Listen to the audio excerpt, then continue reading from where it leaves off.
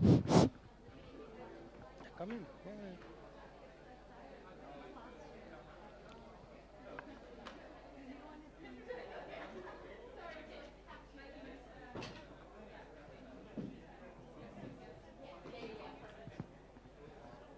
So, welcome back. Hope you really enjoyed the launch.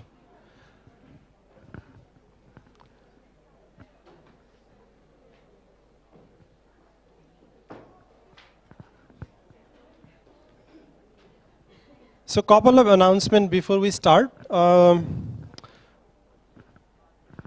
one is to, especially to the note takers from the previous session, to please send the notes to Jane or or me, probably to Jane because probably you might have her email address.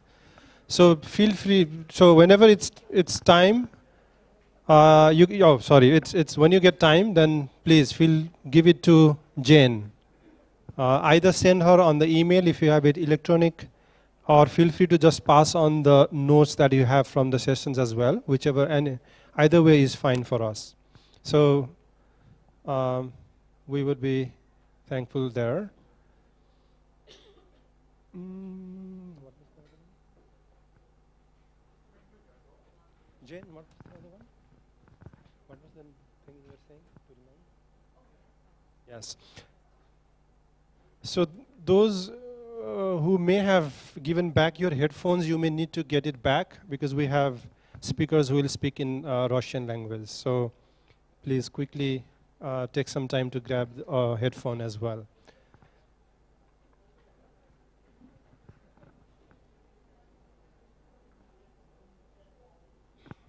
Uh, you'll need to bring your ID to get a headphone, just a reminder.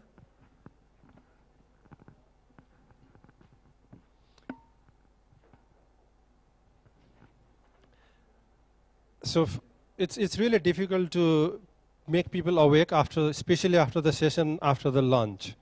So we'll try to keep you awake uh, with an interesting panel here.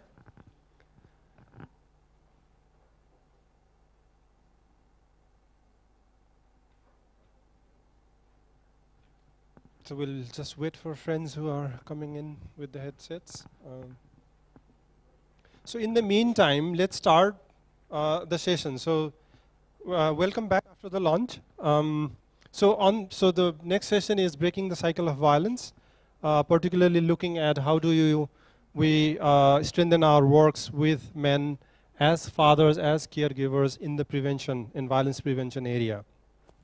So just to start and help you uh, to get into the mood, uh, I just want to request you to just take a few seconds maybe or one minute maximum to think of about your childhood. Go back to your childhood. When when did you start uh, understanding or or being forced to behave in a certain way?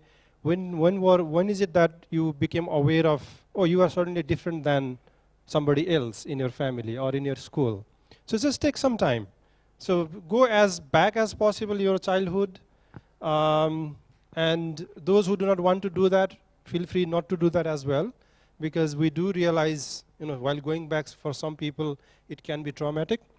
Uh, but for those who do not feel afraid of going back, please do that.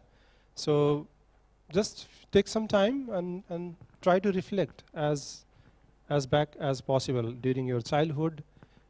Maybe you heard somebody saying you something. Maybe you were suddenly stopped while you were trying to do something or play. It can be anyone, someone from your own family, someone from your friend circle, someone from your school.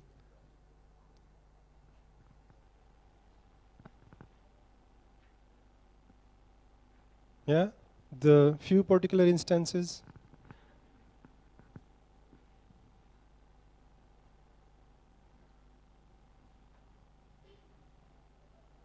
Yeah? So slowly get out of there and try to recall the last moment you think you have used or shown or expressed any forms of anger, violence upon someone else. Could be in your own family, could be in your work area.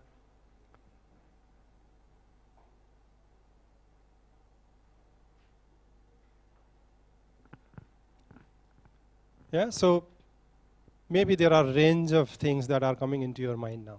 So we're trying to understand what happens through across the our life cycle to really understand the way certain people or we ourselves as men, women, people of different gender identities and social orientation behave in, in the context where we are from. So, and, and trying to recall how that process and understanding of, of that process can inform some of the programs we do. To look at it from a prevention perspective. And a lot of works we are doing with men in particular around fatherhood, involving in caregiving as a man. Many of our programs are informed through this understanding and see how that experiences of individual can be utilized to prevent violence and also in the same time break the cycle of violence. Because as we know you know it, it starts from the very early age it goes on. I would not go into the uh, the data. I was thinking of just showing these figures for you to understand how the experience that you just were trying to recall in, during your childhood has an impact later in our life and how that shapes our behaviors our attitudes our own relationships to certain individuals in our own families, in our friends, and people we work with. So it has a lot, uh, uh, and this is what I used to use when I save. So just to look at you know how this impacts and how these different experiences, including uh, the operations, the, the systemic operation that's around us, the discrimination that happens to us in multiple areas of, of our lifetime, and how all that relates to shaping the behavior that we have today and to understand how and why certain people behave in a certain way they do. So just to keep, keep that in mind uh, and then to try and relate to, to our own experiences. So what today in the session that we are really trying to do is to unpack a little bit on, on just this piece, on how do we really break the cycle of violence and this cycle of violence has a you know multifaceted effect on, on our own lives, on the lives of people and children uh, or people around us, both in relationships or any forms of relationships we have. The reason I'm taking this as a as a framework, just to put it out there, uh, you don't have to agree with with this framework because particularly I, I really like it. Uh, but at least, or not like it in the sense the way it is framed, but it helps me to think on some of the aspects on the work we are doing. Um, so how do we relate to the childhood experience of violence, the intimate partner violence that happens in a family, irrespective of the various forms of families we come from, not particularly looking at one way of understanding family, but multiple forms of family, and keep that in mind, but also to look at how does, uh, where does the intersections between intimate partner violence, violence against women, and violence against children interact to form a certain cycle of violence that perpetuates different inequalities, injustice, and discrimination as we grow up. And we as actors in those process also, you know, we have, it's not that I have never used violence, right? So how do we, you know, are forced to, to whether or not we like it, forced to adhere to certain ideologies, certain behaviors. So these are some of the questions we are, we are trying to understand uh, from the presentations as well. So without delay, I would like to start with a short introduction. For I'm not going to read the bio of the presenters. Uh, you have it in your folder. Feel free to just look at it. I, would quickly like to request the presenters to present or just introduce yourself short. Hi, you've all seen me already. I'm Ruti Levtov, a Senior Research and Program Officer at Promundo. Good afternoon. I'm Kate Doyle, a Senior Program Officer with Promundo. Good afternoon. I am Getalem Kasa, an Executive Director for Hiwot Ethiopia. I am from Ethiopia. Hi, I'm Marina Pisklakova Parker from Russia, Moscow, Center Anna. Hi, I'm Sergei Zakharov, uh, Center Anna, St. Petersburg, Russia. Great. Uh, my name is Laxman. Apologies again. I realized later I didn't introduce one in the beginning. So my name is Laxman. I'm bad in introducing myself on who I am, and I probably I'm a little shy on introducing who I am.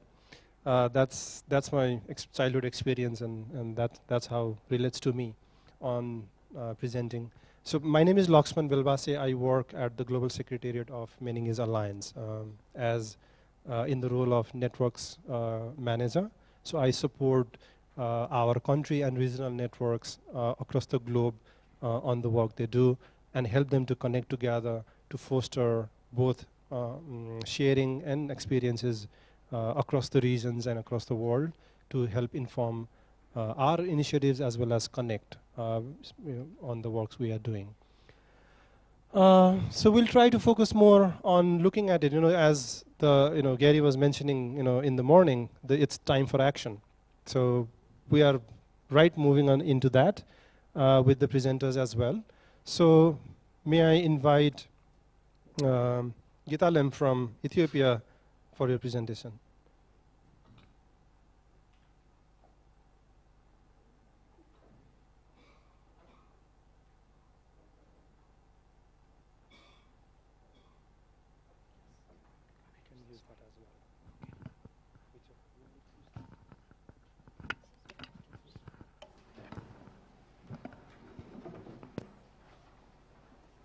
This? Mm-hmm. This one. This. Great. Here.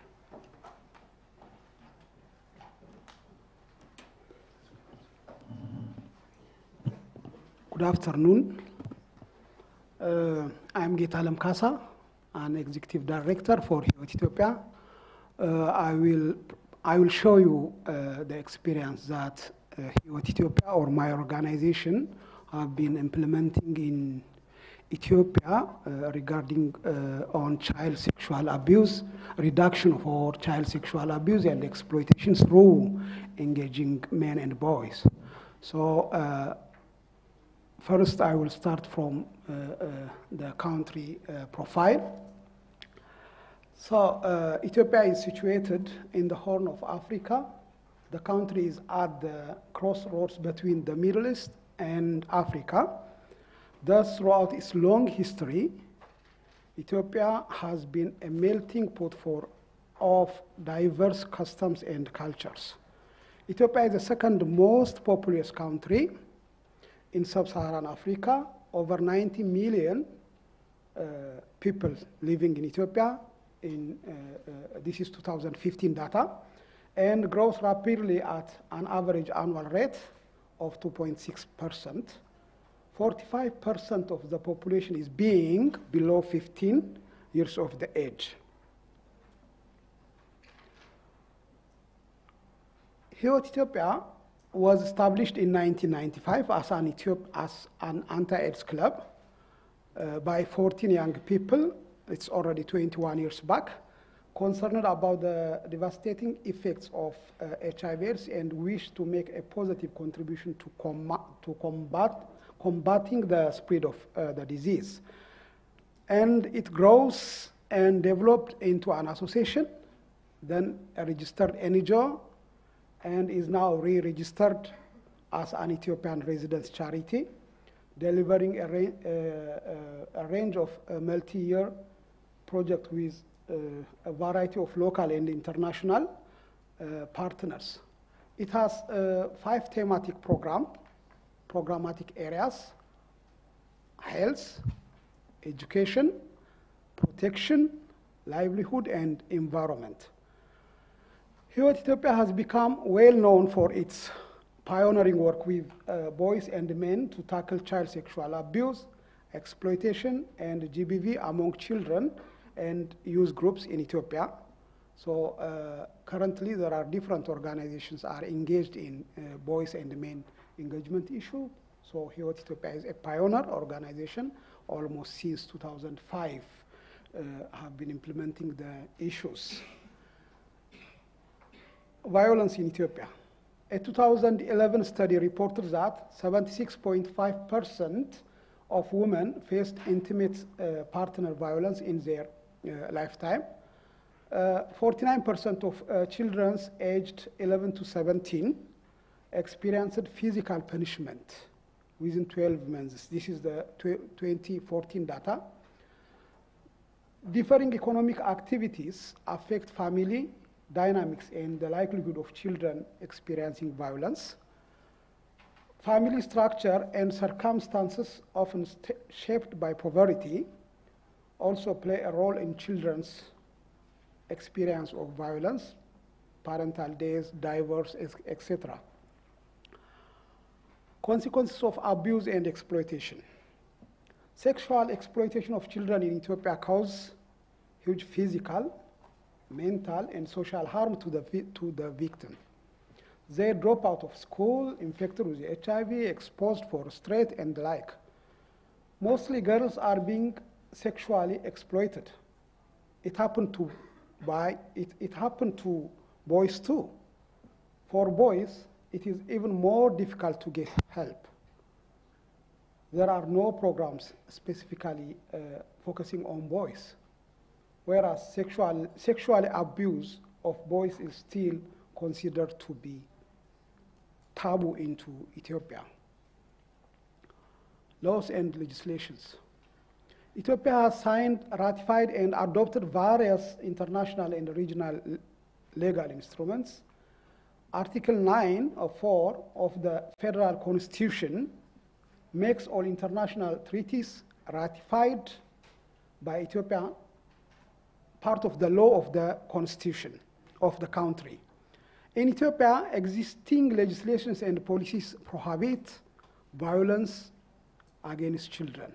In practice, implementation and application of these laws and policies has been ineffective, while intersectoral coordination has been weak. Here, Ethiopia's commitment, my organization's commitment to work on boys and men. As you may know, different uh, platforms, meetings, and uh, sessions are also encouraging my organization to engage on boys and men for gender equality. In patriarchal society like Ethiopia, men are assumed not to be involved in or their attitudes and behavior towards family and gender relationship difficult to change. Participation of men in the efforts to promote gender mainstreaming and gender equality is a topic of concern that is given too little attention and value. Gender equality is often perceived as an issue of women, while men are perceived to be privileged and or not affected. So let's come to the uh, program. የንጋት ወግ radio. It's a radio show. የንጋት ወግ is Amharic word. So we use the Amharic word directly translate to the English word. So I don't have any definition about this. So Yenegatwag is the Amharic word. Amharic is the uh, national language of Ethiopia.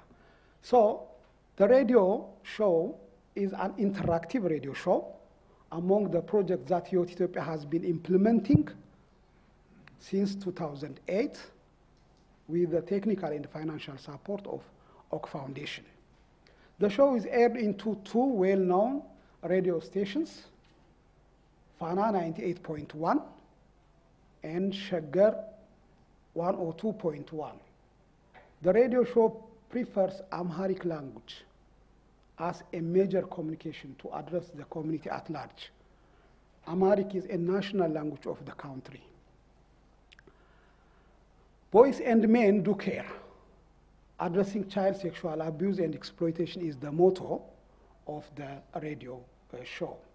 There are two objectives to increase public recognition of the positive role of men and boys in the protection of child, children from sexual abuse and exploitation. The second one is to increase collaboration efforts among schools and other child-focused organizations. Program targets, children and youth, boys and men, parents, teachers, celebrities, community groups, institutions, policy and decision makers are the target of the major target for the radio show.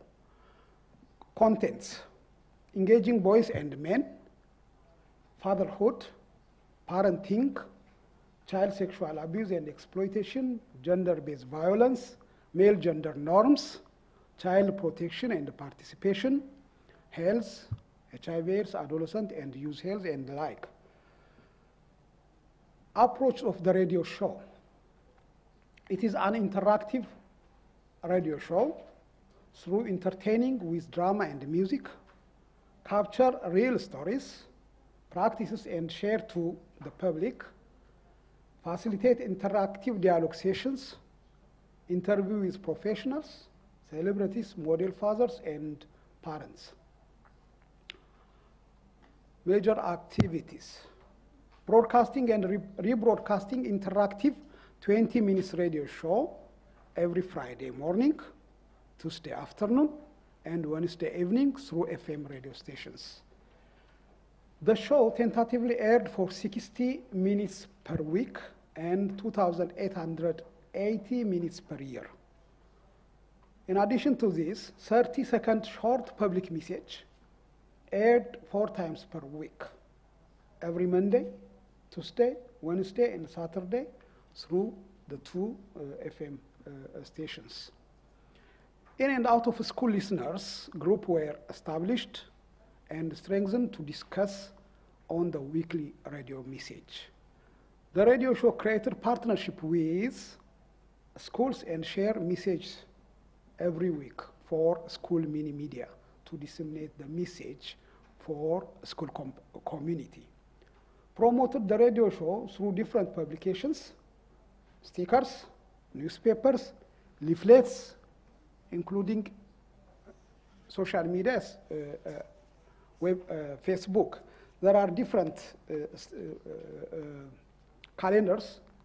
This is calendar already. We print this calendar to promote uh, men and boys engagement issue. This is Amharic version. We have also stickers. So we publish these stickers, sticker and uh, you know disseminating and posting at the uh, towns. So it is already.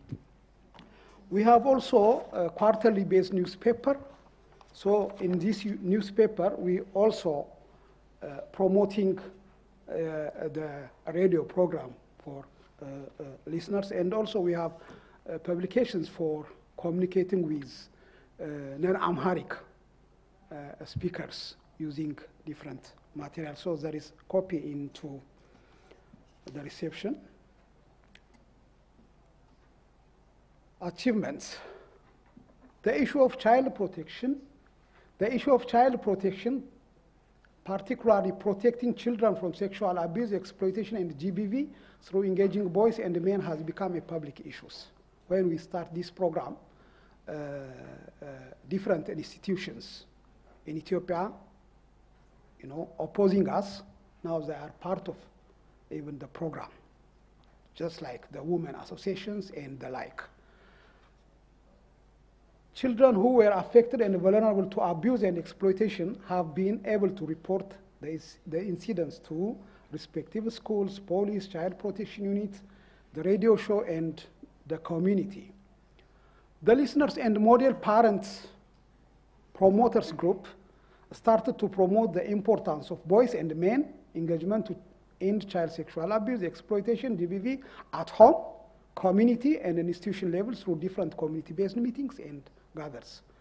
Various media, various medias have already started to mainstream the importance of men and boys engagement to end GBV and ensure uh, gender equality.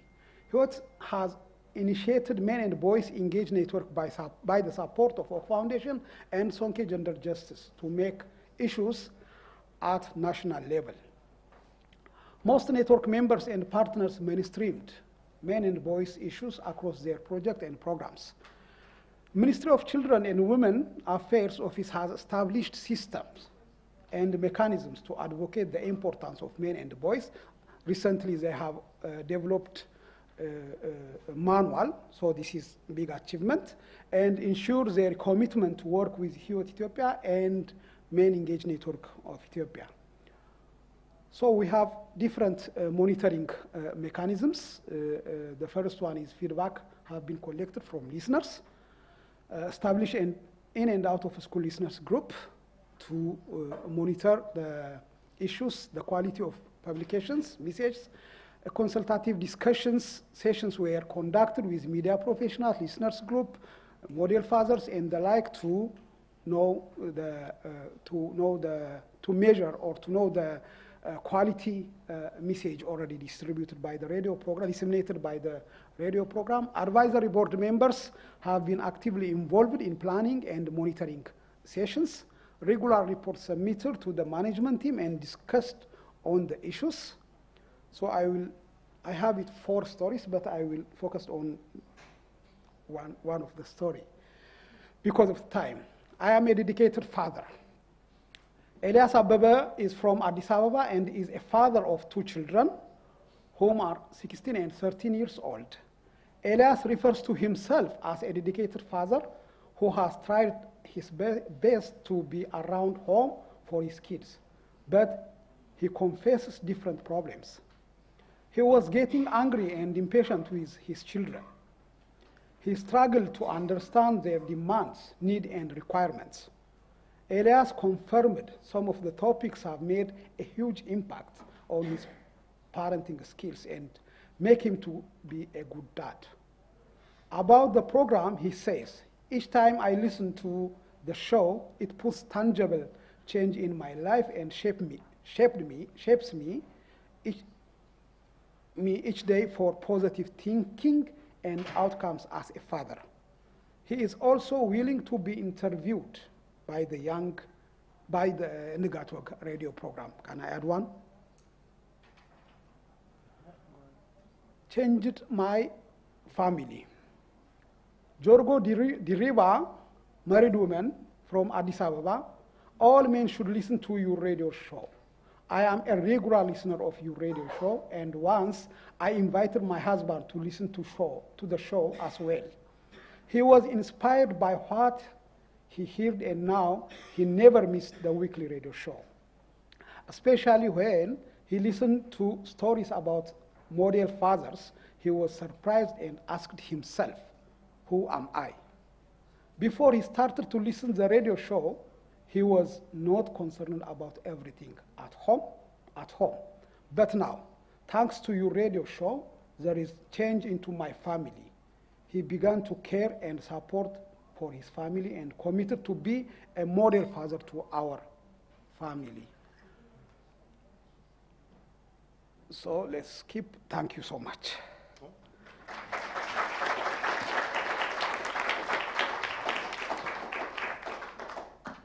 Thank you. Yeah, thank you, Getalem. Uh, really inspiring story of uh, you know how you have been able to use radio so as a means to reach out to uh, the community members, uh, um, including you know having significant impact on the lives of these you know fathers who listen to your radio stories. Um, and I always have been fan of Hiwot uh, since uh, you know you had been working with from this intergenerational dialogue approach on where they had boys clubs and, and parents club and they used to discuss on the issues of even uh, which we uh, don't do at in Nepal back home where I'm, I'm from on the issues of sexuality education. So that was uh, amazing. Uh, and thank you for, for highlighting uh, the comprehensive approach you have uh, used in your program.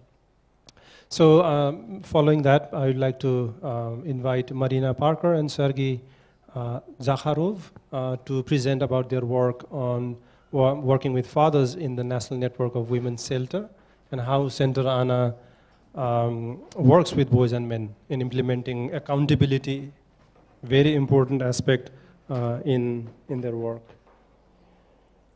So, here you go. You can use this as well, whichever way.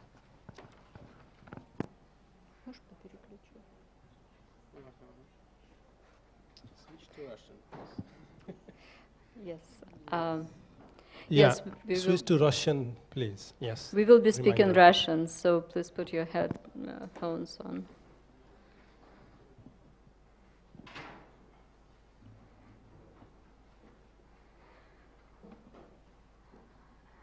Итак, мы будем говорить с вами о работе с отцами. А название... Ты будешь говорить? Название нашей презентации «Работа с отцами. Работа с отцами, э, Опыт опыт, э, сети». опыт сети э, против э, насилия.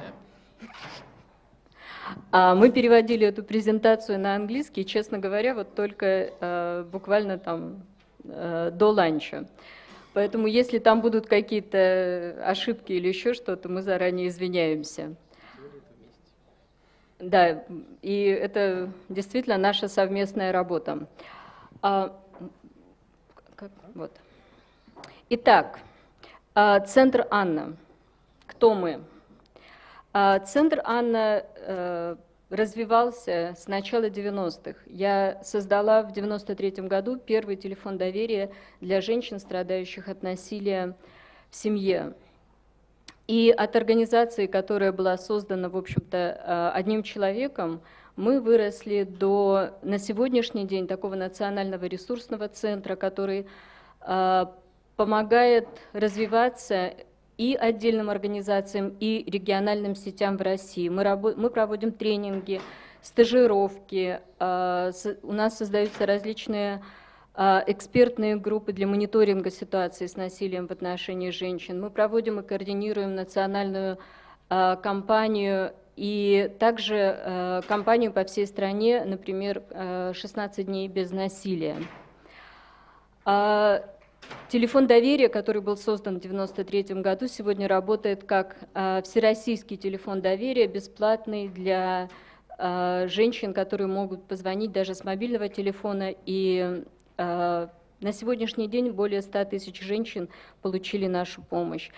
А, Национальная сеть. а, Сеть организаций – это неформальная сеть, которую мы а, координируем. Более 120 организаций, государственных и негосударственных, входят в эту сеть. А, В том числе а, аффилированными членами организации, э, этой сети являются организации из Молдовы, Беларуси, Таджикистана, Киргизстана, бывших постсоветских стран. И это все организации, для которых мы также э, либо проводили тренинги, либо продолжаем с ними работать и работаем по сегодняшний день. А, Основные цели нашей организации – это повышение осознанности проблемы насилия в отношении женщин как нарушение прав человека, развитие, создание различных моделей реагирования на разные формы насилия в отношении женщин, создание а, атмосферы а, нулевой толерантности по отношению к насилию в отношении женщин и работа с проблемой насилия в отношении женщин как с нарушением прав человека. За время э, своего существования Центр Анна опубликовал и рас- э, распространил более 5 миллионов э, образовательных материалов и а, провели более 200 семинаров а, для различных целевых групп. Эта кампания называется «Домашнему насилию оправданий нет», и она э, ведется в России с 1998 года.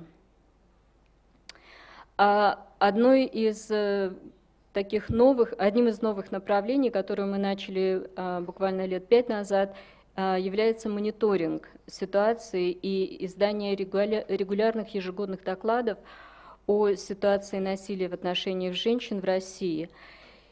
И вот это пример нашего последнего доклада, который мы опубликовали э, в начале этого года. Он называется «Хроники тишины о ситуации насилия в отношении женщин». И э, этот доклад мы опубликовали уже как организация, внесенная в реестр э, иностранных агентов России.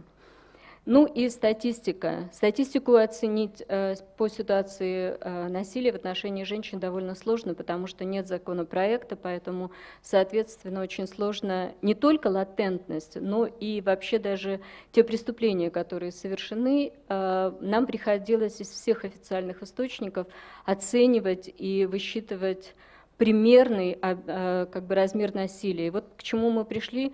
В среднем а, более 600 женщин погибают ежемесячно в России. Я не добавила здесь, что это ежемесячно. в России в результате домашнего насилия. И ежегодно около одного миллиона женщин подвергаются насилию в семье. С некоторого времени мы, в общем-то, с самого начала, еще с 90-х, мы задумывались над тем, что когда мы начинаем говорить о проблеме насилия, получается, что как бы женщины говорят между собой об этом. И э, мы думали все время о том, как же нам э, расширить э, эту дискуссию. И у нас был такой проект э, вовлечение молодежи. То есть проект был необычным с точки зрения того, что мы сначала э, в девяти университетах э, в России планировали создать э, лидерские группы для девушек и группы соконсультирования для профилактики насилия на свиданиях и сексуального насилия. И когда мы начали работать в университетах и проводили первые дискуссионные площадки для студентов, оказалось, что эта тема очень волнует и молодых людей. И к нам а, вот в эти лидерские группы пришли и девушки, и юноши. И нас это очень обрадовало.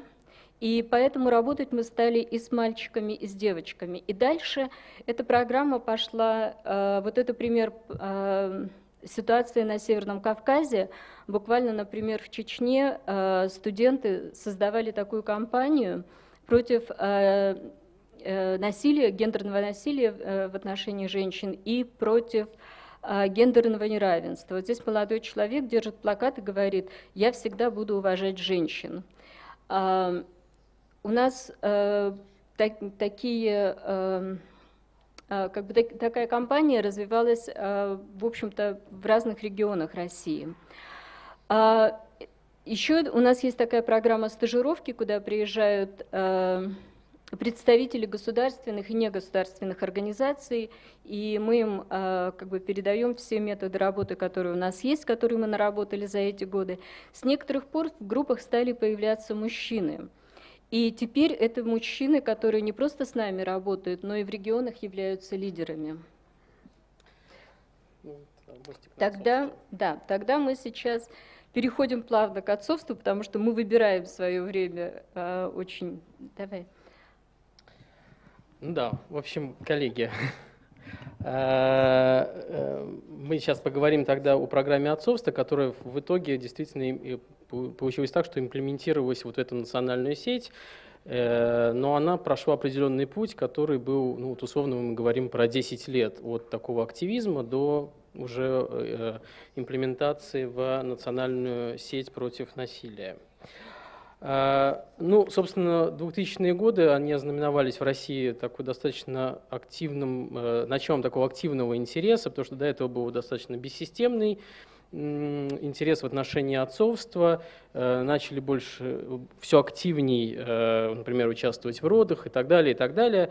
И, собственно, э, начало, как бы пришло время для разговора об отцовстве. И, собственно, те люди, которые работали, те активисты в общественных организациях, в социальной сфере, почувствовали эту атмосферу и начали тоже смотреть, что можно сделать для того, чтобы поддержать отцов. Собственно, вот мы, э, наши коллеги, мои коллеги, которые работали в социальной сфере, активисты, мы э, начали думать, что делать, что делать с отцами, как с ними работать. И в 2007 году у нас появилась такая общественная инициатива, которая объединила этих специалистов, и мы, конечно, начали работу с ну, мы их называем беременные папы. Э, ну, это самый простой был путь для того, чтобы начать диалог об отцовстве с достаточно мотивированной группой. Ну и, собственно, нам помогли в этом э, наши шведские коллеги вот, э, из организации «Мужчины за гендерное равенство», которые дали нам некий толчок и некую базу методическую для того, чтобы мы стартовали. И течение этого времени мы начали работу, и подключались какие-то еще коллеги, другие активисты. И, в общем, эта тема отцовства, особенно это касалось Санкт-Петербурга, северо-запада России, начала обрастать различными сервисами. Да? Это и папа школы, это и появившийся День отца, и «Папин журнал», специальный журнал для отцов, и различные флешмобы, рекламные кампании и так далее, и так далее. Это такой был, начиналось такое обрастание сервисами. Ну и, собственно, э, вот то, что мы начали эту, дискуссию, э, появился этот контекст, и мы, э, в том числе, наверное, и наша работа, и работа наших коллег, так или иначе повлияла и на изменения системные, в том числе и в законодательстве. И, собственно, вот самые основные вещи, которые произошли, изменилось законодательство в, в праве на бесплатное участие отцов в родах. Это федеральный закон э, Российской Федерации. А, в концепцию семейной политики России внедрена была э, тема отцовства и необходимость поддержки форм работы с отцами. А, в, Трудовом кодексе э, Российской Федерации появилась статья о о том, что отец имеет право э, на равноправное, э, равноправие в отношении э, отпуска по уходу э, за ребенком. И э, вот тот формат, который мы предложили в папа группы, он вошел даже в концепцию семейной политики э, нашего города Санкт-Петербурга. А какие еще результаты? Ну, э, те сервисы, которые мы как общественная инициатива, как активисты развивали, они начали имплементироваться в государственные некоммерческие организации. И, собственно, например, папа-группы достаточно активно развиваются до сих пор и начали имплементироваться в э, работу женских консультаций, центров, э, государственных центров помощи семьям. Э, ну, собственно, наша позиция в том, что э, мы считаем, что язык отцовства – это такой достаточно эффективный, эффективный инструмент э, против насилия и за гендерное равенство. Это эффективный и безопасный инструмент. И, по-моему, не, вот Нигина говорила да, в своем выступлении, что это действительно очень эффективный инструмент общения с консервативными группами, да, чтобы мы не говорим напрямую о гендерном равенстве, мы не говорим, а мы говорим через язык отцовства. И он принимаемый, он воспринимаемый. И, в общем, э, мы это видим, на самом деле, на примере на нашей практике. Э, и начали, собственно, нашу работу имплементировать в развивать через женские кризисные центры, Э, Марина потом дополнит меня в конце, как это, почему мы это сделали, почему для нас это было важно. В итоге сейчас, уже сейчас, э, вот 13 регионов России, кризисные женские кризисные центры используют программы поддержки отцовства в своей работе, для того, чтобы говорить не только э, говорить об отцовстве и с мужчинами, и с женщинами.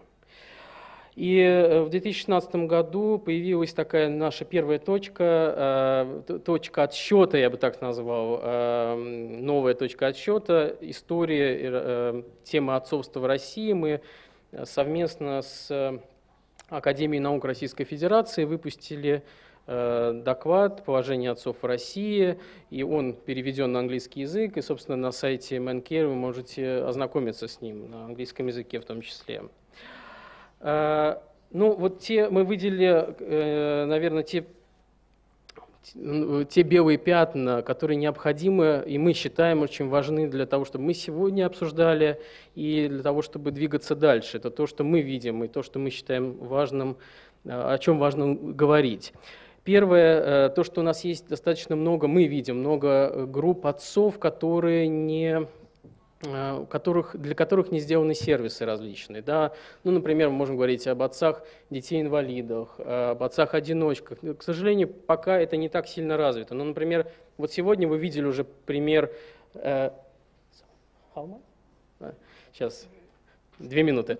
Э, например, сегодня был классный пример э, наших коллег, врачей и детям, которые действительно сделали новые программы для детей, для, э, для отцов в кризисной ситуации. это очень здорово, вот это новая, новая точка что еще важно отметить? Вот, э, бизнес, который дружественный э, семье, бизнес, дружественное отцовству и так далее, и так далее. Ну и, собственно, вот э, моя персональная история, э, мои, мои вызовы, э, которые я испытываю сегодня на этом, на этом мероприятии. Вот у меня двое детей, одному три месяца, и я вот э, с телефоном стою, а и меня э, вот жена постоянно значит, спрашивает, э, где свидетельство о рождении, где у меня значит, э, э, надо записаться на массаж э, на 13 июня. То есть я как бы вот в такой ситуации нахожусь э, баланса, пытаюсь это как-то решить. Это не просто для меня, это первый такой выезд э, после рождения, но тем не менее.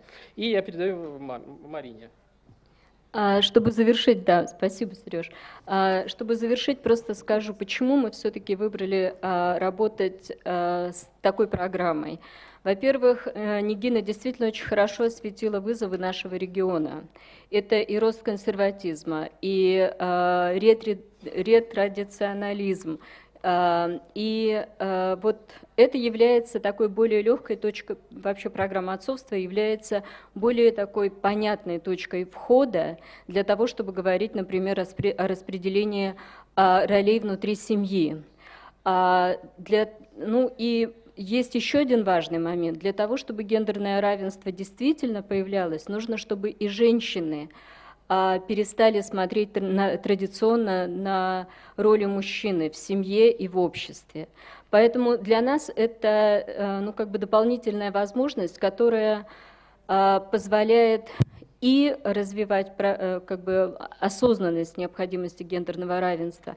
Ну и, конечно же, то, о чем говорил уже Лексман сегодня, то, что это профилактика насилия, начиная с того, что дети растут совершенно другой новой ролевой моделью. Ну и, да, и мы Ладно. еще, Что мы в форме говорим? Спасибо за внимание. да, Спасибо спасибо за за внимание. внимание.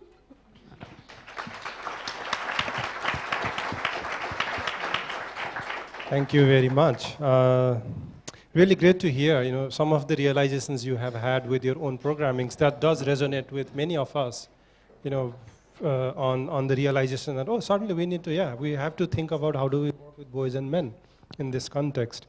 Uh, and that's how I started my journey with engaging boys and men too. And I think it's amazing to see you know, how far you have been able to reach, both in terms of policy advocacy and the achievements there, and also to look at the individual lives as well. And also the, the dilemma of where do we become professional and where do we become fathers is something I think most of us and many of us who are involved in the work do grapple with uh, daily. So thanks for reminding that. Um, so next, then I would like to invite Ruti and Kate to present on the evidences. You know, many a times when we go and do our advocacy work, people always ask, oh, "Do you have evidence? Does it work?" So probably, you know, that's that's where this will be really helpful on uh, realizing how to build an evidence base for our programming, advocacy, and other efforts. So over to you. Great, thank you very much, Laxman. And yeah, we're going to continue on the trend of co-presenting uh, because this is research that actually we started preparing for back in 2013. Um, and Ruti and I have been yeah, very much involved in it since that time, so we're excited to be able to share some of the findings from that research with everyone. Um, and we're going to be sharing an example of an adapted version of Program P that was implemented in Rwanda. Uh, but before we start, we do want to mention that we're really sad that our colleagues from Rwanda could not be here. Uh, unfortunately, all of their visas were denied. So we had originally envisioned that we would sort of co-present and be able to share a bit more about the programmatic aspects uh, through the roundtable discussions. Um, so, so we hope we'll do them justice. Um, so, as I mentioned, it's an adapted version of Program P that was implemented in Rwanda, but it was situated within a larger program called MenCare Plus, uh, which we have some other partners like Sonke and Rutgers uh, in the room with us here today. And within this larger program that was trying to promote men's engagement in sexual and reproductive health and maternal, newborn, and child health, one component, aside from working with young men and women and working with health providers, was fathers or couples groups. So reaching out to fathers as that entry point, as uh, the Center Anna example was sharing, of an opportunity to engage with fathers and couples around issues of violence and gender equality and couple relationships. Um, and it was implemented in Rwanda by the Rwanda Men's Resource Center, or RWAMREC, um, which I know there's other partners in the room who have worked with them as well. And it is a gender transformative group education, so trying to create spaces to actually challenge inequitable gender norms, but also learn and practice more equitable behaviors, um, and creating spaces for couples, so not just men, although the program is targeting men and recruiting them uh, into the program via the male partner, it was really focused on the couple relationship. Um, so it was targeting couples who are between the ages of 21 and 35 years old who are either young or new or expectant parents. So some came into the groups, about 25%, as first time parents, um, expecting their child on the way. And others came into the groups with maybe one child under the age of five in the household, creating opportunities also for sharing across um, different experiences. And it was adapted from Program P over a nine month period of formative research, piloting with community members, piloting with the Ministry of Health, uh, eliciting feedback from different institutions as well as community members themselves. How can we make this program better, more applicable to the daily lives of the participants? And the resulting curriculum was 15 weekly sessions um, led by community facilitators, so fathers themselves, many of whom actually participated in the pilot. You know, had no previous training or experience facilitating any type of program in their community. And the sessions included seven sessions targeting directly to men, but eight sessions that are couples based. So men come with their partners. So each group had about 12 participants. So when partners were together, 24 people in total. And the topics included fatherhood, gender and power, um, family communication and decision making, understanding and speaking out about violence, conflict resolution, among a number of others, but really focusing on creating that space to work with couples around couple communication, discussing issues together. You know, do women want men to be involved in these areas? I think which highlights some of what was discussed in the panel early this morning. And the intervention was designed specifically to address men's participation, reproductive, maternal, newborn, and child health. So, antenatal care visits, getting involved during pregnancy, discussing and communicating about family planning, as well as violence against women. Um, and particularly the areas where this program was implemented were chosen because they were areas where there were high rates of gender based violence, and also areas where there were fewer programs that had been reaching the community members. Um, and as well as obviously couple dynamics and relationship, including particularly unpaid care, and trying to promote more equitable distribution or redistribution of care work within the household. And I'm going to turn it over to Ruti now, who's going to start to share a little bit about the design of the study, and then we'll bring it back to some findings. Thanks. So um, as Laxman mentioned, one of the things that we get asked a lot is, okay, you're doing these programs, you're investing a lot of resource in, resources in these programs. Do they work? What, what happens when people participate in these types of programs? So with this implementation in Rwanda, we had the opportunity to design a study to really try to get a, a very high level of evidence on what was working. So we designed what's called a randomized control trial. Many of you might be familiar with this from uh, testing of medications or drugs. Um, the reason randomized control trials are often considered a really sort of strong uh, level of evidence is because you're able to attribute any changes that you see to the actual intervention because the people who participate in the intervention versus the people that you compare them to were selected at random. There, there's kind of a lottery that sends some people into the intervention and some people not into the intervention. So we have a control group, people who didn't participate, and an intervention group that did. So the sites were the same sites of the implementation of the, of the entire project. It's four districts in Rwanda, and as Kate mentioned, districts that were perhaps underserved in terms of programs related to violence.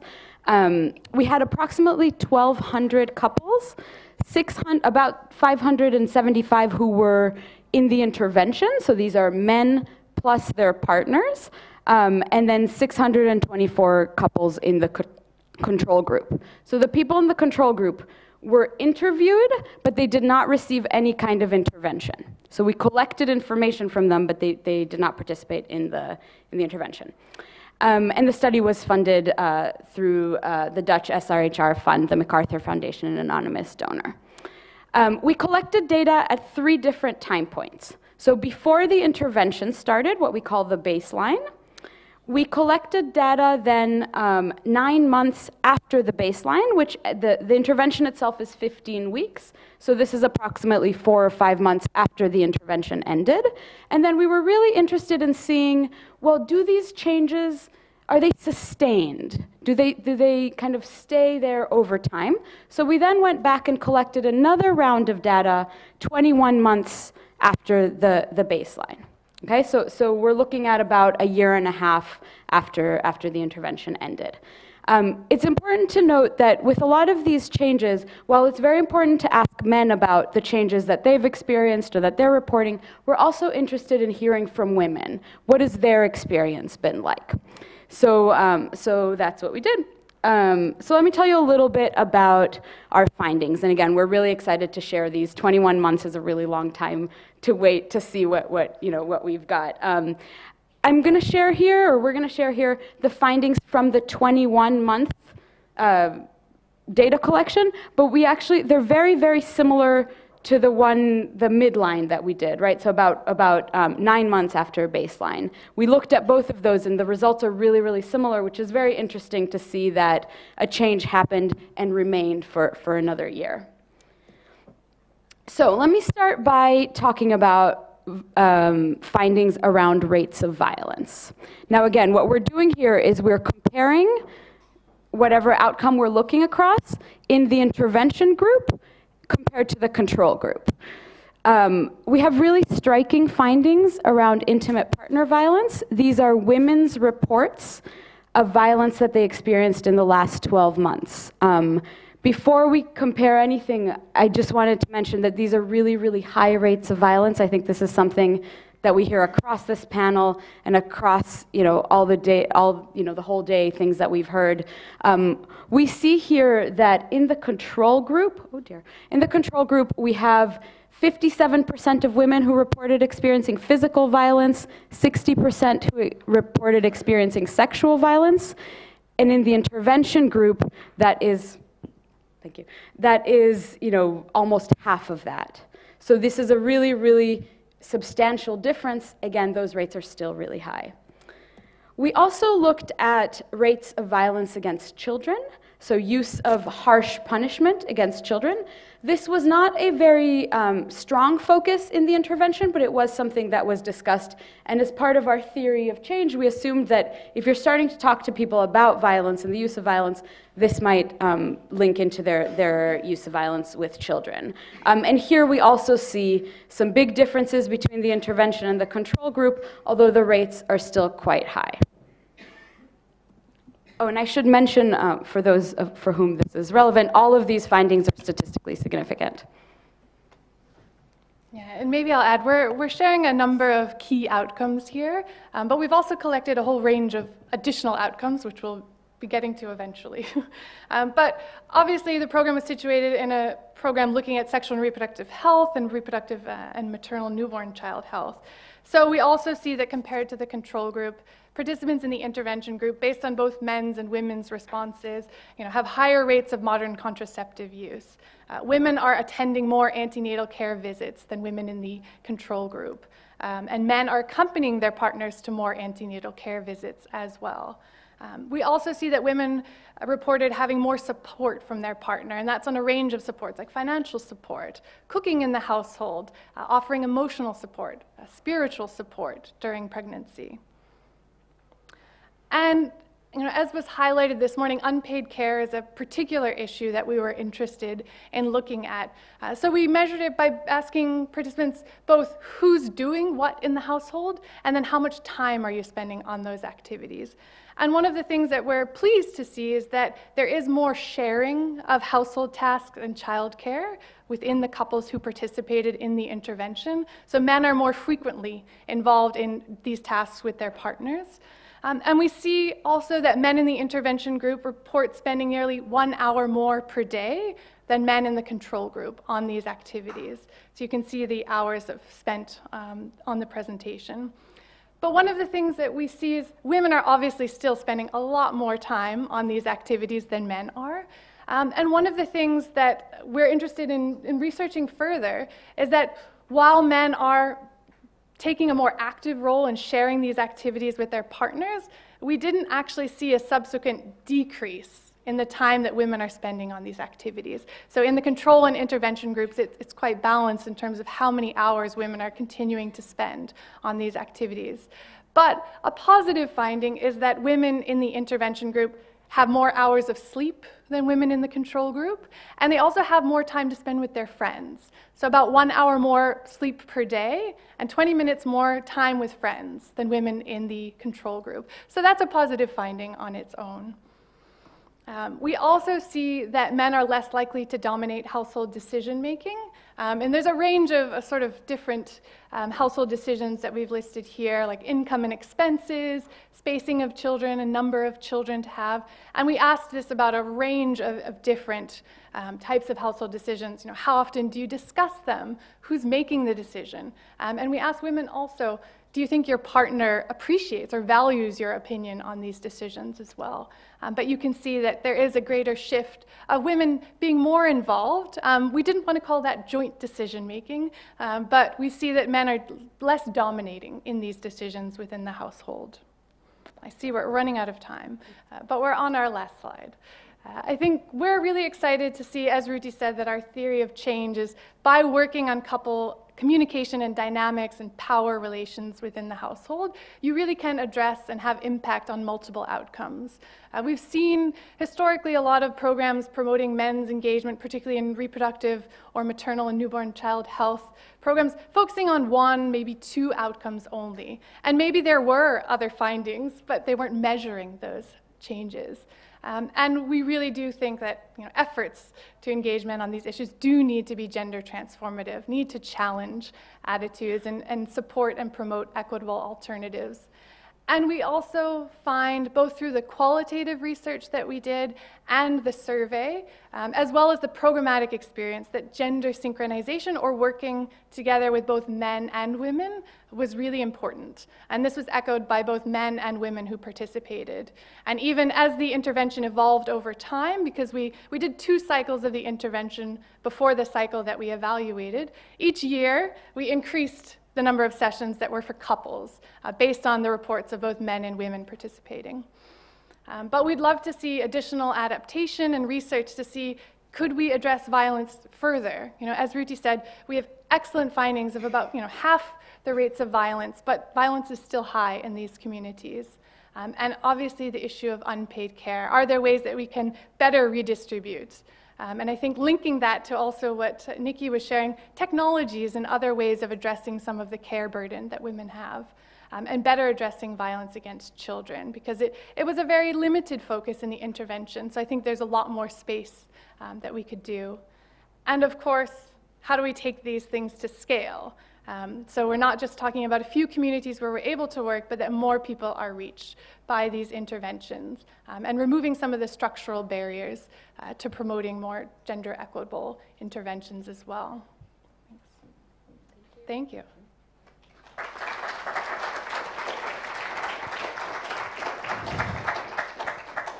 Yeah, thank you. Um, and th I think, yeah, you know, this is really helpful to, you know, make an argument on, the, you know, the, the, programs we are trying to develop really work, you know, if we do it properly and, and in a proper manner, and then also to look at how do we scale it, scale it up uh, in the one. But I think, you know, I really uh, love the idea of when we develop or implement or, or, or try to contextualize any of the programs, the gender transformative approach and the lens need to be really embedded uh, in, a, in the particular context. And I think that's, that's very important uh, to remind as well.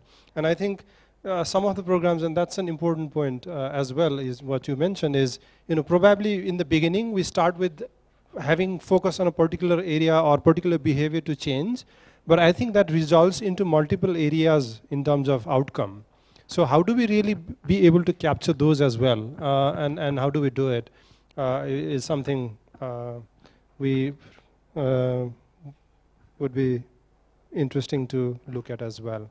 So now we have a um, uh, little less than what I had expected, time for question and answer.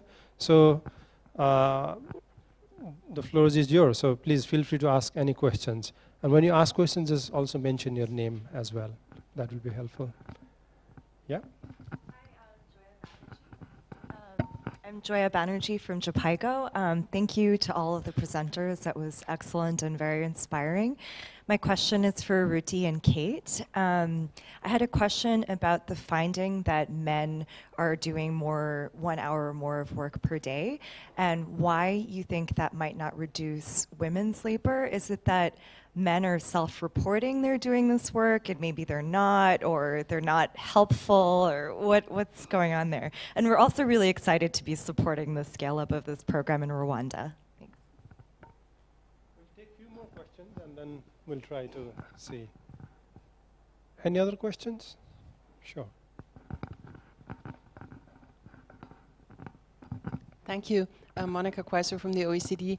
Uh, I have a really um, a question to everybody on the panel, and I'd be interested in hearing a little bit of the pushback uh, you got. Because, um, of course, we've heard the stories of the people who were convinced, but I'm sure it wasn't so easy for all of you to do what you're doing, and that um, because these are strong, and we saw particularly uh, in, in, in Ethiopia and in Russia, what you told us also about the, the cultural barriers you have to overcome in your work. So I'd be interested in hearing a little bit about those problems that you had to overcome and how you how you are, how you are overcoming them. So one more, and then we'll get back to the panel. So, Nikki, um, I'd like to ask Marina and Sergey. I know you've been really involved in, in, in the work on trying to change the domestic violence law in Russia. Uh, I'm just thinking about the link between that and the work that you're doing with men. And I'm interested in what support you've had from men to do that and how you see that going forward, because I know it's gone backwards. And you talked about re-traditionalization. I thought it was a really interesting term. I'd be interested to hear a bit more about that, because it's not just applicable in Russia, it's applicable in many other countries too. Thank you.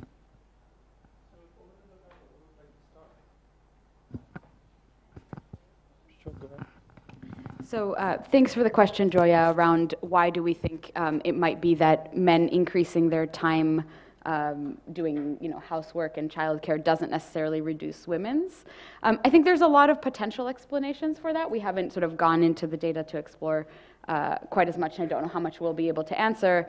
Um, one is, I mean, both are self-reports. All time use studies, or most time use studies tend to be self-reports, um, and we often see that people tend to overestimate their contribution and underestimate their partner's contribution. In this case, we are only asking about, you know, people's own, own work on particular tasks. Um, but it can be a lot of different things. I mean, I think we heard earlier, um, or in some of the tables, that you know, if you had more time, you might do more things. You might do them better. You might do them longer. You might have a chance to do other things. Um, we know also uh, from discussions around uh, sometimes women as gatekeepers, they might be doing some of these tasks together, um, or they might be sort of watching or, or, or supervising how that's going. Um, again, I think it's something that would be really interesting to track over a longer time period as well. But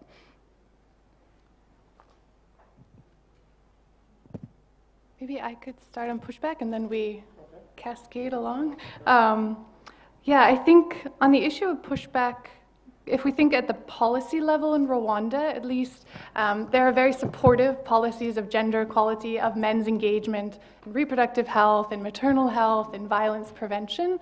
Um, so, on that level, there, the Rwandan government, particularly the Ministry of Health, who is the partner on the project uh, and involved in the research, was very supportive and encouraging of programmatic examples that could actually help put those policies into practice, which a lot of times they were a bit lacking. Um, and because of their involvement and that policy engagement, local leaders were very heavily involved in the program um, at district level, at sector and cell and village level. So that created an environment in which there was actually sort of political status if you got to participate in the program as well. Um, so I think at the individual relationship level, there's definitely still some pushback about taking on new roles, particularly around the care work. Um, but I think that's where we find it really important also that men and women are both engaged in that conversation because when we did formative research before adapting the program, men were often saying, well, we're getting a lot of that pushback from women, from our mothers, or from our partners about taking on some of those activities. So we need to communicate and discuss together. You know, why are we doing this? Do you want us to help in this way? Um, all of those sort of aspects. So in that sense, I think there's a lot less pushback um, in this context than there might be in other contexts because of a number of reasons.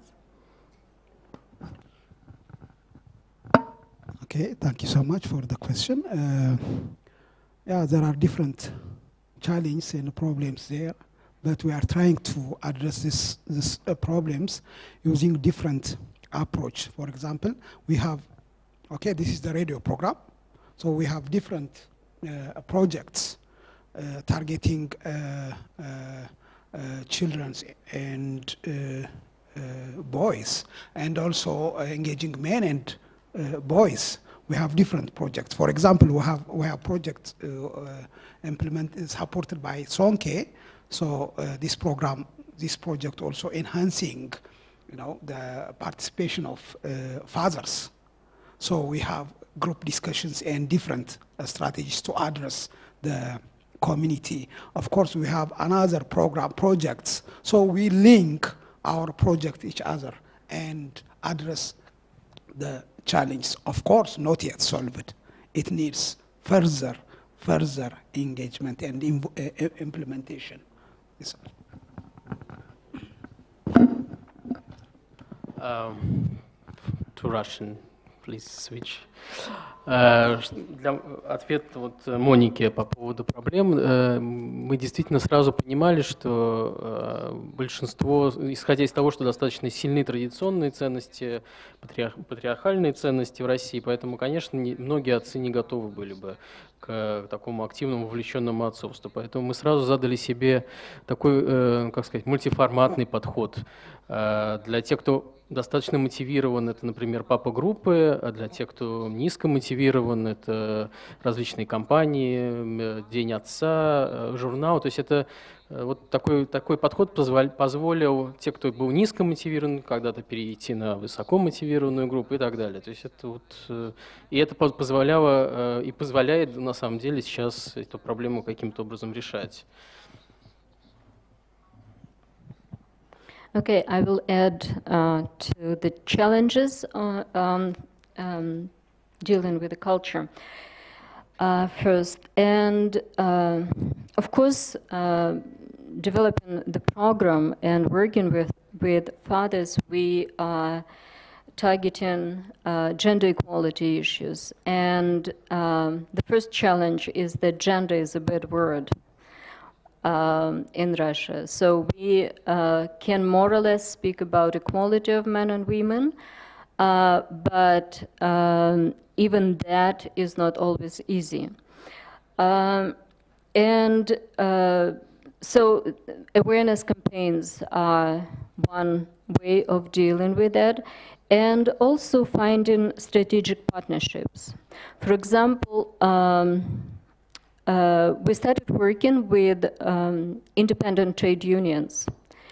And uh, one of the independent trade unions in Russia, they have gender equality group, and they actually call it gender equality group. And we partnered with them, and um, Nikolai Yeremin, who many of you know, travels around the country. Here is Nikolai. Uh, travels around the country uh, conducting conducting um, different training programs and working, developing um, really um, a very good program with them. Uh, and that links to the issue on legislation. Uh, my organization was actually listed as a foreign agent um, in Russia because I was chairing a working group on um, developing legislation uh, addressing domestic violence in Russia. And uh, that was a huge, really, backlash and um, really uh, difficult time for us. But um, it, it doesn't mean it's not possible in Russia. I still believe that um, we just need to work more on awareness. The law was not passed because I think um, a lot of governmental officials uh, underestimate uh, the scope and con- consequences of domestic violence for the whole society. And also, um, in that sense, for example, working with independent trade unions uh, helps us to raise awareness among uh, men in very masculine professions like sailors, constructors, fishermen.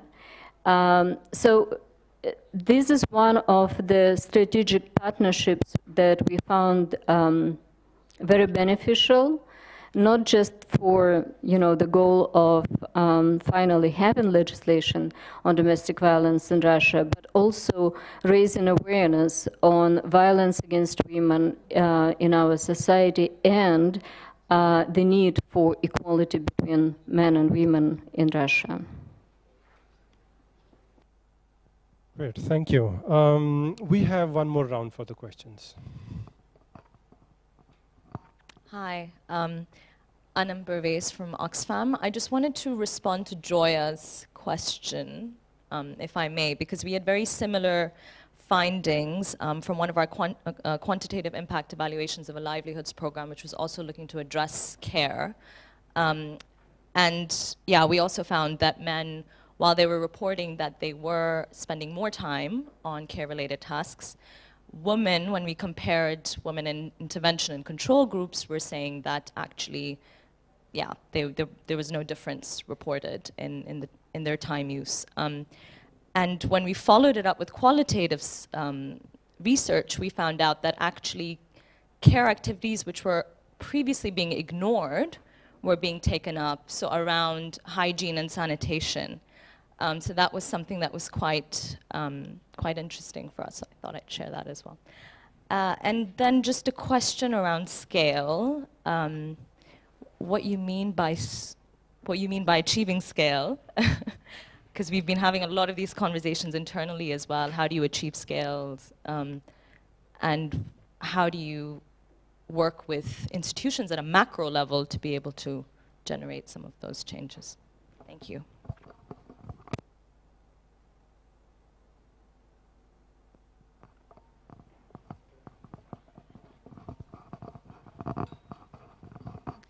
Uh, my name is uh, Olaya Michelena from Make Mothers Matter. I just have a very quick question for the, all, the all the panel. So if you were the kings of the world, what would you do? Do you think that would really make the difference to actually transform fatherhood and really make a difference? If you could do anything, what would it be? Very short. Voila, difficult question. Great question. So you have a magic stick in your hand now. Be prepared.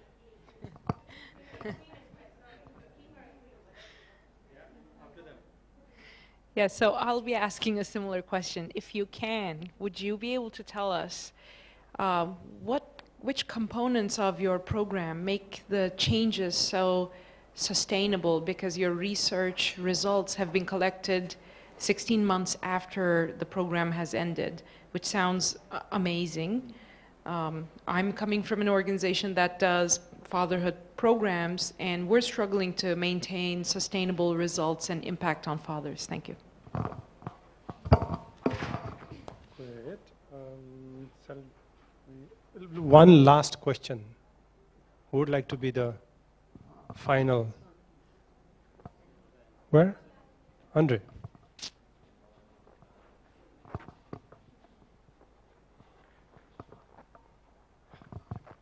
Um, just a uh, quick question to Rasha. I'm Andre Levax from Sonke. Um, you've mentioned uh, issue around high motivated groups uh, and low motivated groups. So my assumption is that the high motivation groups is um, men that are more um, um, want to get more involved in care, and the low motivation groups is men that are not so much uh, uh involved in care. So what do you mean by that? And isn't it uh, much better to have a diverse group of people uh, where high motivation fathers actually affect low motivation fathers? Thank you. So who would like to start? Maybe we start the other way now? If, yeah? Yeah. Можно я тогда отвечу коротко, просто, наверное, э, может быть, не очень просто было я по- понятно сказал. На самом деле, мы, э, мы просто используем разный формат для разных э, групп отцов с разным видом мотивации. Для тех, кто достаточно высоко мотивирован, это, например, папа группы. А для тех, кто низко мотивирован, это различные компании. э, А, вот я кому отвечал сейчас, только, только одел наушники, поэтому я еще раз повторю. Значит, еще раз. Для тех, кто высоко мотивирован, мы используем папа-группы. Для тех, кто низко мотивирован, различные компании. Э, Это может быть день, де- день отца, э, это э, выставки, например. Поэтому просто это разный, ну, как бы, разный формат работы.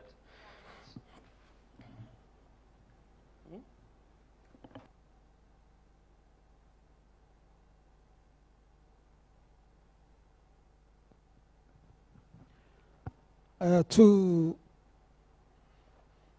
change the community attitudes and to to to show real change, it's better to engage all sectors of the community, including the government. If the government doesn't do not have willing, we can't make change. We can't see even change. In Ethiopian context, civil society in its organizations or NGOs does not have mandate to engage on right-based approach. Policies and procedures are restrict, uh, is already restricted. But we are committed to our community engaging in, you know, making different strategies to even convincing the government and convincing the community. So it's better to engage all sectors to see changes.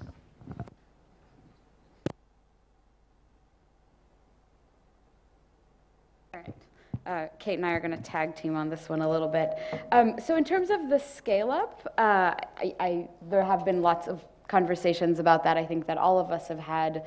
Um, a lot of the work that, that we do with fathers, that many other organizations do with fathers, uh, feels like it's on quite a small scale. So, you're, you know, you're talking about 500, 1,000 fathers, and that's a big program. Um, so I think part of, and, and these are, you know, somewhat resource heavy interventions done often by NGOs. And so a lot of what is really exciting to also hear from all of you and, and things that we've been thinking about is thinking about how these can be um, institutionalized into existing structures, whether it's the health system, whether it's um, whether it's crisis centers, whether it is social welfare organizations that allow for a similar type of process and intervention, but that happens not as particular projects that have, you know, a beginning and an end. Um, anything to add to that? Okay. Um, uh, let's talk a little bit about the components that make the intervention work. So, as a very strict researcher, we don't know. We compared people who participated in the intervention to people who didn't. There are ways to design studies where you could pull out particular components and see.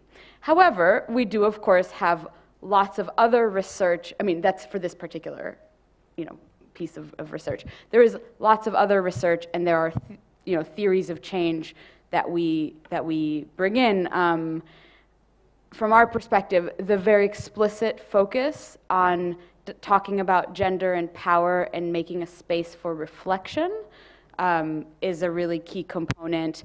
Um, and also a place, I think in this case in particular, for working with couples and building particular skills for couples to do things they hadn't necessarily done before. Yeah, and maybe I would add on to that from some of the qualitative research that we collected and some of the, my own interviews with participants from an earlier cycle. Um, the emphasis was really a lot on communication. And for the very first time, many of these couples were actually discussing things uh, within the household. You know, what are my goals for our children? What are your goals? Uh, what do we want to achieve? And how do we need to work together to achieve that? And actually listening to each other, sometimes for the very first time on particular topics. And that was done through creating spaces within the group where couples are sitting and are told, you know, discuss with each other, but also homework assignments um, and other types of ways that we tried to promote communication between couples. And I think related to that, uh, from men, there was a sense from many of them that I spoke with at least, that through that process, they started to see more value and that their partners had lots of valuable contributions in terms of decisions within the household, for example, but also that by working together more, um, they could have more time together with their family, their relationship was being strengthened, and there was uh, greater value to the family. Men were seeing, okay, if I actually do this, rather than waiting for my wife to get home, because she's also, you know, at the market and, and actively working in the economy, um, you know, we save time. And in the end, that also provides uh, greater resources to our household. So all of that sort of building on itself to say, um, you know, there was a lot of value um, in this type of approach. And men were saying that, you know, that value was enough to make me be able to say that I don't care what other people might be saying about what I'm doing, um, because I see that it's having a return for me and my household and my family. Uh, so I think there's kind of a number of issues there. Yeah. Great, uh, thank you. So uh, I think um, great uh, points coming out of it in terms of looking at it from how do we break the cycle of violence. So you know, a couple of ending points I would just try to summarize which were really coming was multi-sectoral approach of looking at uh, the work we do. And I think by when we say we need to have multi-sectoral approach, that doesn't mean that we have to do everything. And that's where I think strategic partnerships come in, is that how do we connect with organizations who are doing different works, but that may have some ways of connecting with, with the work and the objective that these different programs have uh, in, in the context where we are working. So to, to you know, also build that relationship with existing other organizations, especially also to work with women's rights organizations, which is also comes to back to uh, what Marina uh, was telling about is the accountability. Uh, and while, you know, uh, also to be saying that, you know, the, we are accountable towards the community and also at the same time, how do we utilize that opportunity to hold governments to account in, as, as a human rights activist and coming it from a human rights framework?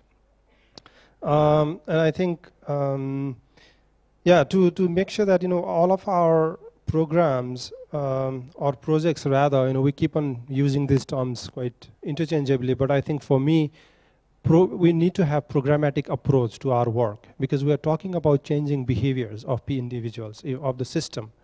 And we are talking about transforming systems that are reinforcing inequalities, injustice, and violence as such. So how that requires quite a long time. And I think that it does require, uh, in that sense, to come from a very from the beginning to uh, integrate, have a very strong gender transformative approach in the work, but also at the same time make you know make, keep in mind that we have to be working for quite a some time. So come from not our project or a time-bound initiative, but come really from a programmatic lens into the work we are doing. And, and that also helps to inspire a lot of changes uh, among the people who are working, and most importantly, to sustain the work we have been doing. And, and that requires to create certain mechanisms uh, in, the, in the communities or in the villages or the uh, cities we work in and connect with those with institutional frameworks. So connecting across, you know, that's where I think uh, slightly being fan of socio-ecological approach to look at how do we connect. It's important to connect these individual changes. You know, you told interesting stories, but also to take a next step to how can these individual stories inspire to change or address or transform the systems that are there, and to look at it from a, from a systemic perspective. And and when it comes to gender uh, justice and equality and and breaking the cycle of violence. So, with that a round of applause to the presenters. Really uh, great work. Um, and really thank you for being first in the plenary. Uh, and thank you for, for all the good questions and, and inspiring questions that will keep us uh, continue thinking for the rest of the two and slightly more than two days. So thank you very much. And we break for tea now. Uh, we are almost on quite good on time. So yeah, uh, five minutes less than planned. So thank you. Enjoy the tea.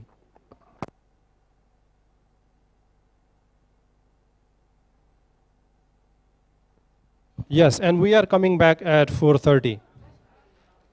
Yeah, thank you.